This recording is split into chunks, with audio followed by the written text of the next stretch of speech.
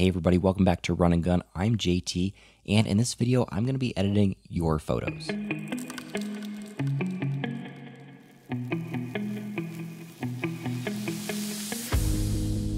All right, so we are here in Lightroom, and today I am editing Denis's photos. He sent me an email and asked if I could edit a couple of his photos, and I really liked his shots of this model underwater. I think they looked really great, and I think with some editing, we can really make them pop.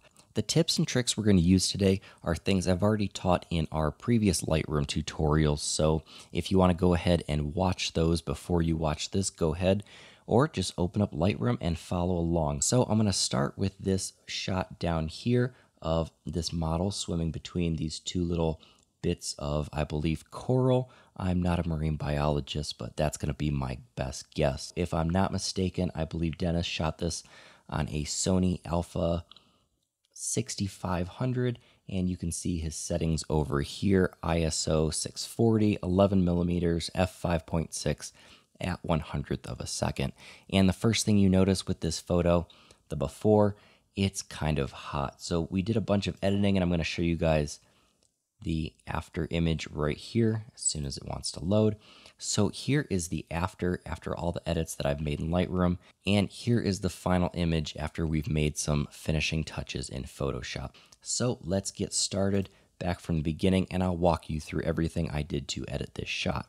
So one of the first things I did this photo was extremely blue, so I warmed it up a little bit. It was also a little bit green. You can see from that preview on the left hand corner. When I highlight over it, it was quite green compared to this final shot. So I tinted it a little more towards the magenta end of the scale over here. I also brought down the exposure quite a bit. And you can see because the shot was a little bit overexposed, there's some of these areas up here that were clipped just a little bit and we couldn't really save all of the detail in the highlights, but we did manage to bring back quite a bit of it. As you can see, if you can compare over here the little preview of the before image to what we did in Lightroom. I left the contrast right where it was. I left our highlights right where they were because if I brought down the highlights too much, I started getting some funky colors up here in the water, so I didn't want to mess with that too much. And again, if you're trying to reset a slider in Lightroom, don't mess with wiggling it back and forth to hit zero. Just double click it and it will reset back to zero. Now I did bring our shadows up quite a bit from zero up to 83. As you can see, it's only affecting a little bit over here up by these fish and under these, I guess, coral formations over here and in here just a touch. I also brought up the whites to kind of create a bit of contrast up in the top and I brought down the black slider from 0 to about negative 40, negative 50 to kind of crush the blacks and give us some nice deep rich blacks in these shadows. So scrolling down here a little bit more, I bumped up our clarity a touch and I also bumped up dehaze.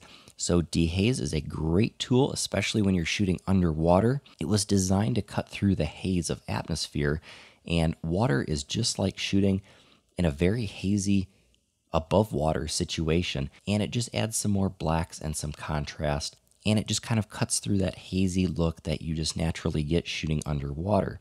I also bumped up our vibrance a touch, and I might even bump it up a little bit more, and you can start to see these really neat colored uh, bits of coral and all these underwater plants here start to pop. You can also see these fish, almost like a neon purple, start to really pop out compared to the before. So, again, there's the before, everything's all washed out, and there is our edited photo. So, I'm going to come down here to our tone curve. Now our tone curve looks a little bit crazy, and that's because I used the targeted adjustment tool, which is really awesome, and you can check out more about that in my curves tutorial. But for right now, I'll give you a quick preview of what I did. Now, this targeted adjustment tool is super helpful. So instead of trying to create an S curve in this window or slapping a preset on it, I can select tones here from my actual image and either lighten or darken them. I'm exaggerating this for the effect of this video right now, but that is how I got this crazy looking tone curve. I went into the highlights and bumped up the highlights a little bit. I went into the midtones and bumped up some of the midtones a little bit and just went through and edited to taste. So when you have your own photo, just kind of edit to taste because it's your photo. Just make it look how you want it to look. So another tool I used down here was split toning, and I didn't really talk about this in any of my other videos, so let's get into it here. So if I turn split toning off, you can see the image was quite green and quite cool. So let's turn split toning back on. And this is where I move the hue over to this orangish red end of the spectrum. And I turned up the saturation on that so I could get some color in the shadows down here in our plants. And I also added a little bit of yellow to the highlights to kind of add some green up here. And again, add some more yellowish, orangish, warm hues down here to create some color contrast in this scene. So again, if I turn this off and I turn it back on again, I just warmed up this bottom part of the image and I really think I gave it some life and I gave it some depth. So your eye kind of explores around the bottom of the image a little bit and then makes its way towards the top.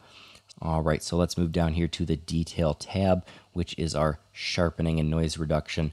And I always like to take this little zoom tool, put it right over the face of my model or subject, and do all of my sharpening based on the subject of the image. And in this case, the subject would be Denis's model right here. So I turned up our sharpening a touch, I turned up the detail a touch, and I also turned up our masking, which, as you know, just selects certain parts of the image. So if I hold Alt and I slide our masking slider, you can see it turns our image black and white and everything that is black is not being sharpened and everything that is white is being sharpened. So you can see there are some noisy parts of the image that I don't want sharpened anymore.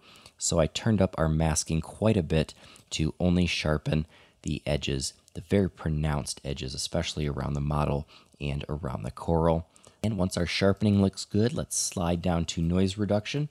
I bumped that up quite a bit down here because there was a little bit of noise in the water and in the shadows just because Denis shot this photo at ISO 6400 and naturally there are a lot of particles and all sorts of things floating around here underwater so noise reduction just helps us get rid of those and focus on the details that we really want to in this plant life, the fish, and of course our subject. So that looks pretty good. I think everything in Lightroom looks good. So the next thing I did was I right clicked on the image and went to edit in Adobe Photoshop. And here's our image imported into Photoshop. And to simply finish this off, I added some curves and my cool and lifted LUT so we can look at the before, the after. Here is the cool and lifted LUT. You can find that on my website at therunandgun.com. I'll link to that in the description. But here is the LUT, the before and after. It just lifts our shadows, adds some very sea green and blue tones, and really makes the oranges and yellows in here pop. It's a neat kind of orange and teal look that I've been working on.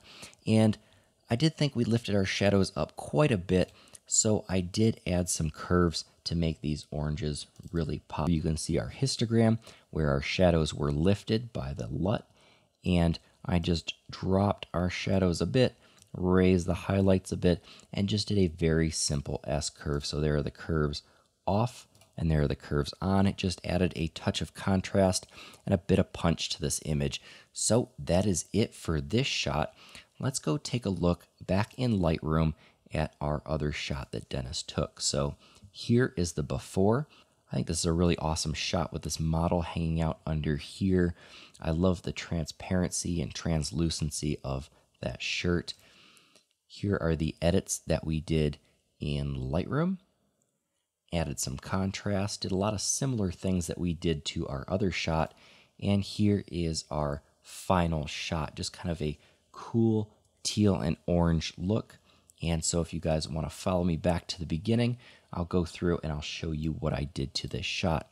So the first thing I did was I cropped the image. I thought the shot looked a little bit better if I zoomed in and kind of cropped into the model a bit more. So I did a 5 by 7 crop and brought it down to center up our model. So that looks good. And let's go in here. Once again, I warmed it up just a little bit. You can see in our preview up here, if you watch this little upper left hand screen, you can see it was a little bit cool and it was a little bit green. So I added some magenta tint and I turned up the temperature of the image just a little bit to warm it up, just to make our skin tones a little bit more warm and lively. I turned up the exposure just a bit and I also turned up the contrast a touch. Now scrolling down, you could see in the preview image we had some hot spots around the top of the image and before I ended up cropping, I turned down our highlights a bit and I turned up our shadows quite a bit so I could see the detail in the model's face. It was just getting a little bit lost in the shadows as you can see in the upper left preview of our before image. In this case, our whites looked pretty good, so I left them at zero, and I turned our blacks down a touch just to add some nice rich dark black tones here in the rocks. And let's scroll down to presence. I bumped up our clarity a hint, and I also did the same dehaze technique just to cut through all of the, I guess, sea life that is floating around in this water. I don't know what kind of plankton or bits of whatever are floating around, but they kind of look like noise and they add a little bit of that hazy atmosphere to our shot, which is great. It adds depth but I still want to see our model's face. So I turned up that dehaze a bit. So I took that from right here at zero and I turned that up to about 20 just to cut through some of this junk in the water. I also turned up our vibrance a touch just to add some color to this image and protect our skin tones. I really don't like messing with saturation all that much. In 99% of my images, I'll just leave that at zero. For our tone curve, I guess I left that one alone for this image. And for split toning, I did a very similar technique to the last image. I warmed up our highlights. I could have selected any tone on here and you can see I can mess with our highlights. It actually kind of looks cool with some teal highlights. I'll take that back down to orange. Maybe bump the saturation just a touch more. And then I went down and I actually cooled our shadows off a little bit because our shadows were looking too warm from when we messed with our highlights here. So I wanted to cool down some parts of the image because it still should look mostly cool because we are underwater. So that is all for split toning. I also went down to our detail menu. I sharpened the face of our model quite a bit down here. I brought up our sharpening slider to 67. I also turned up the radius just so our sharpening was affecting larger parts of the image like the hair, the nose, the eyes, and not these very tiny specks of junk in the water. I also turned up our masking again to only sharpen what I wanted sharp, which was the larger features in the face and not the tiny bits of stuff floating in the water. And I also turned up our noise reduction quite a bit. This image was shot at ISO 1000, so it was just slightly noisier than the last image that we edited. And for effects, I added a slight vignette just to really bring our subject out and make her pop. You can see the edges of the frame were extremely bright, so I added a nice vignette. So those are our edits from Lightroom. Here is the before, here is the after. And once again, to bring our images into Photoshop, I will edit in Adobe Photoshop. So let's head over to Adobe Photoshop where I did the exact same thing. We can start from scratch here. And I literally just selected our color grade from the last image and clicked and dragged and dropped it on this image just to kind of keep the same theme throughout images. I really like to create a new look or a new LUT every time I work on a set of images from a similar location. Here is the before in Lightroom. Here's after adding the cool and lifted LUT and just adding a bit of contrast. I think I'm actually going to go into our curves and add some more shadows in there, just a little bit more punch. So I think that looks pretty good. There is the before from our Lightroom edit, and there is our final image. I like how the face is about the same tone as these rocks down here, and this rim lighting from the light coming through the water up here. Uh, that just looks really neat. And I think Denis did a great job taking these photos, and I really can't wait to see more of his imagery. So let's once again take a look at our befores. Here is the completely unedited, uncropped, unretouched image. Here is our final shot. And once again, our first image here is the before and here is the final out of Photoshop. So that is all for this episode. If you guys would like me to edit your photos, shoot me an email at runandgunphoto at gmail.com and I'm sure we'll do another episode like this. I think this was a lot of fun. Be sure to check out Denis's Instagram and Facebook. I will have them linked down in the description and make sure you hit that like button if you enjoyed this video, hit that subscribe button. I will see you guys next weekend, and until next time, get out and go shoot.